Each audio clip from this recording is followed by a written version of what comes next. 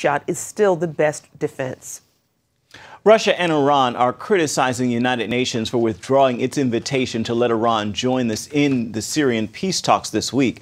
The head of the UN, Ban Ki-moon, reversed course after Iranian leaders refused to agree to the talks that the talks would create a transitional Syrian government. The last-minute Iran invitation had undermined the conference. Western-backed Syrian rebels had threatened to drop out over it. Those rebels said Iran would have to agree to withdraw its troops and Hezbollah fighters from Syria before they would attend the Geneva peace talks.